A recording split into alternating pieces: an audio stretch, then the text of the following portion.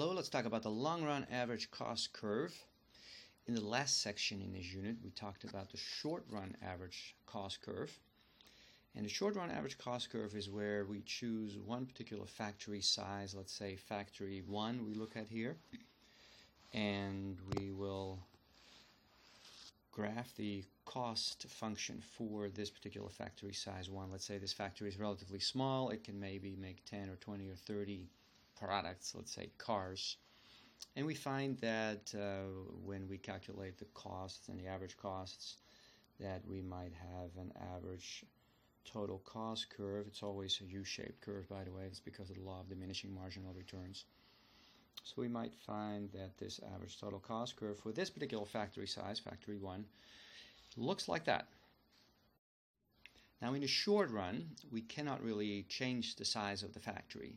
So we're stuck with that uh, average total cost curve, let's call it ATC1, in the short run. And we can't really change it. And usually what we end up doing is we look at producing where marginal revenue is equal to marginal cost in the long run for a perfectly competitive firm. That usually happens at the lowest point on the average total cost curve. So this particular factory will probably produce at an output right around 30, in between 20 and 30.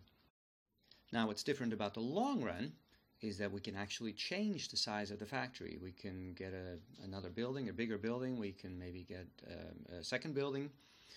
And uh, so for that particular factory size, the costs and the average costs are going to be different. different. And so let's say, for example, that for factory 2, the average total cost curve looks like that. And we can do, of course, so let's call it ATC2. And we can do, of course, the same for factory 3. Factory 3 looks like it's even bigger because we can produce thousands of products there, 1,000, 2,000, 3,000, and so forth. And perhaps a factory 3, the average total cost curve turns out to look like that. So we'll call it ATC 3.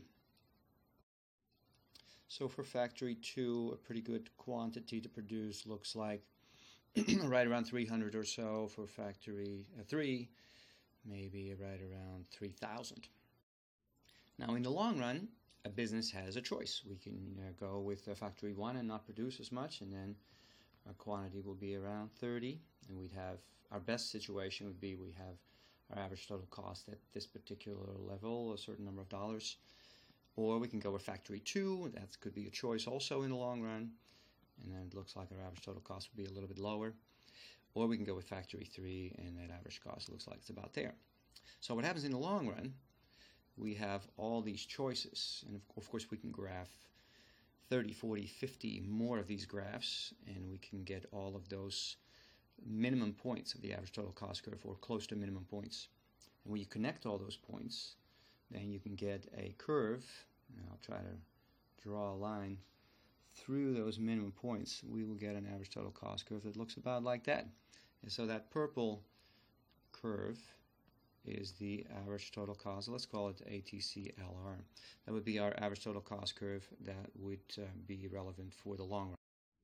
Now notice that I have actually graphed this average total cost curve in the long run first downward sloping it goes down first in this area here, then it kind of uh, evens out a little bit, and then it starts to go back up. And I've done, actually done that on purpose because this part here, the downward sloping part of the long run average total cost curve is called economies of scale. Economies of scale. And then this part here, I'll just abbreviate it's called diseconomies of scale, the upward sloping portion. So where average total costs increase. The reason for the downward sloping par uh, part, in other words, where average total costs go down, is uh, that uh, is that when a company gets bigger, it usually can take advantage of cost savings. It can buy large pieces of equipment that will function more efficiently. If uh, let's say if you're producing only 10 or 20 cars, you probably won't be able to buy very expensive equipment, so you may have to do everything by hand you also won't be able to hire as many workers, and so you can't specialize as much. You won't be able to purchase as many supplies, so you don't get too many discounts.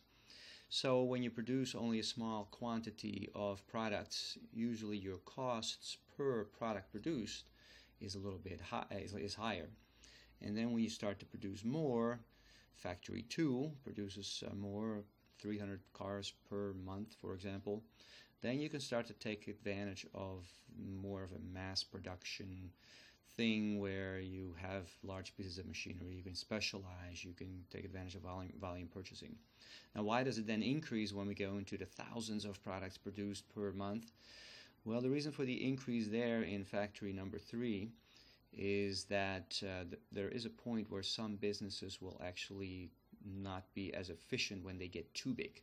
So the bureaucracy starts to take over, the red tape manager, there might be too many managers, too many layers of management.